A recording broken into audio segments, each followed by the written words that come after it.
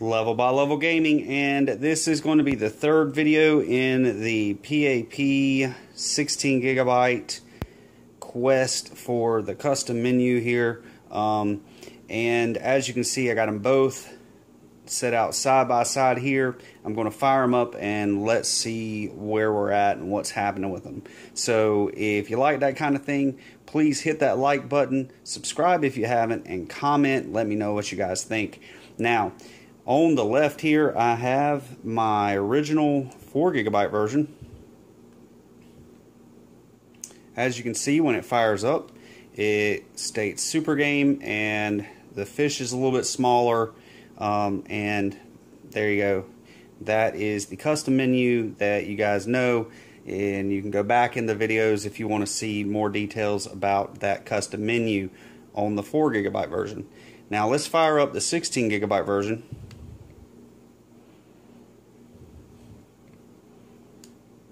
Take two. There we go, got a green light. I just didn't hold it down long enough. We have the splash screen with the fish. It's kind of zoomed in. You don't see Super Game along the bottom. And voila, we have the custom menu running on the 16 gigabyte version.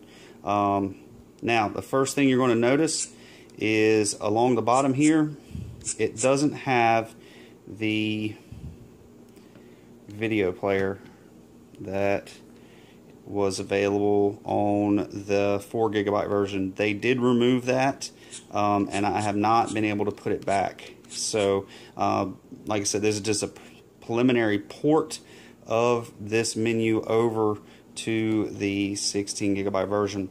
So, I did not go back in and try to include the video player. Um, and unfortunately, I have not re-enabled or even figured out if it's possible to re-enable the USB part where you can tr data transfer over a USB cable um, that was available on the 4 gigabyte.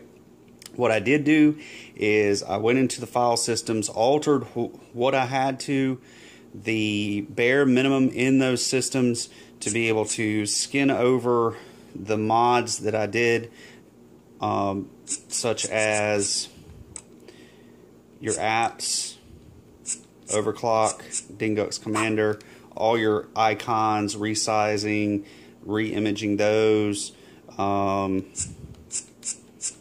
and more importantly, for me, renaming these systems to something. I'm trying to get the glare out of the camera there. Um, renaming these systems from like Famicom to Nintendo and Super Nintendo. That's more of a taste thing and adding in the additional emulators that I had going on the 4 gigabyte, such as the Ataris, um, Intellivision.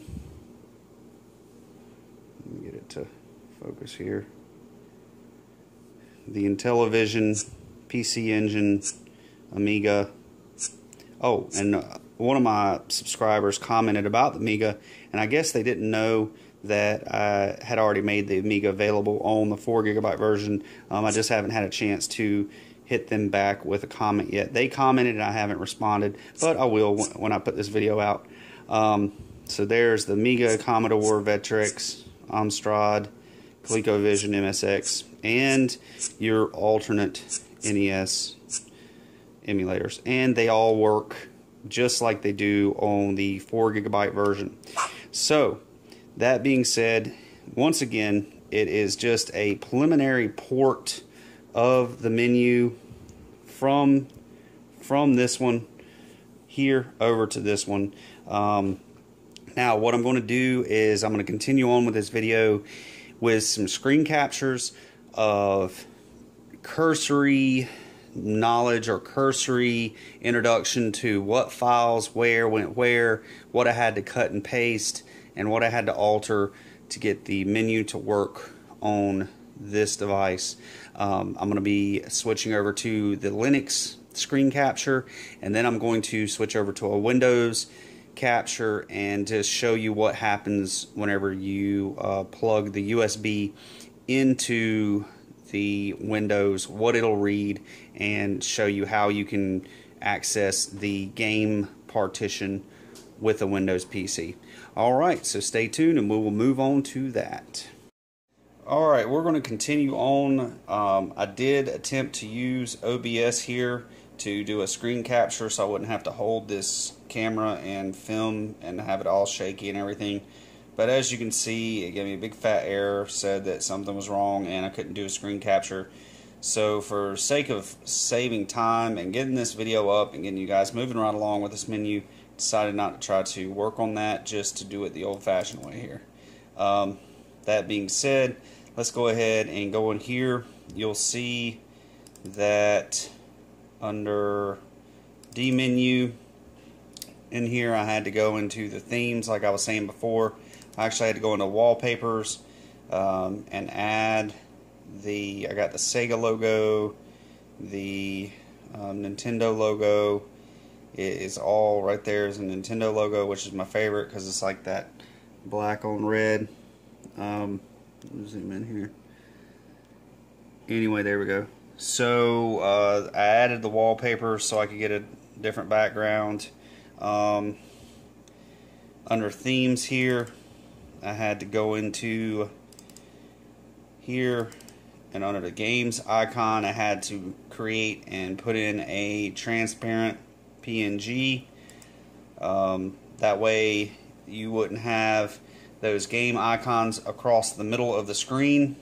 Uh, label icons. Here's where I had to go in and change these. Um, just going along with that video I was able to leave the PNG in here uh, for future use if I can get the video player working. Uh, but it isn't called to action. It's not used with anything, so it really doesn't hurt it to leave it in there. And the original uh, developers or whoever changed what they changed for the 16 gigabyte version did the same thing. They left a lot of stuff in there, just didn't leave it attached to anything um, or doesn't have any kind of commands that are looking for it. Under the iPen English here. Uh, I did had to go into the cool themes and go down here. Um, like I said, this is not a detailed tutorial, guys. This is just showing you the basics. Um, I did have to make some changes here. Uh, where's that?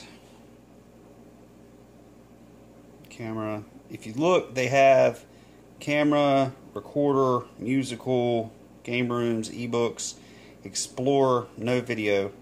Um, so that's one of the reasons why that it doesn't work whenever you use my menu. Um,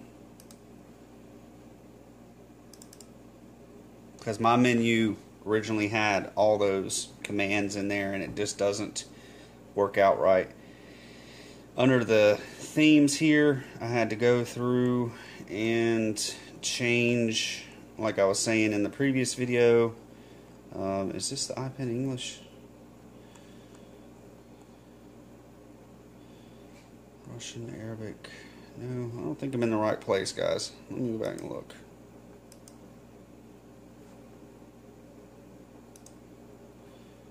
Yeah I'm in the right place. Theme config um, music, alt. Here we go. That's what I was looking for. Um, I did have to change these. You can see just an example. I had to add in the MS, MX, MSX and send it to the right places, put the emulators in the right place, uh, so on and so forth. So there's quite a bit of additions and deletions and alterations that have to happen here. Um, I'm contemplating doing a video on the specifics of that if you guys are interested. So there was alterations there. Um,